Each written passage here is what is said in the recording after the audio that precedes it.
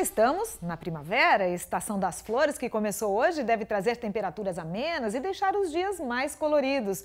O Rubens Nakato conversou com um climatologista que explicou direitinho como deve ficar o tempo durante este período, que vai até dezembro. E é o que você vê agora. Eram ainda as últimas horas do inverno, mas as flores já exibiam o charme da primavera. A estação que começou oficialmente às 11 horas e 21 minutos de hoje veio como manda o figurino.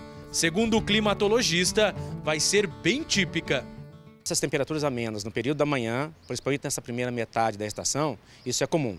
E a partir da segunda metade da estação, aquelas tardes bem típicas de verão, com temperaturas de 36 graus ou mais, também fica comum.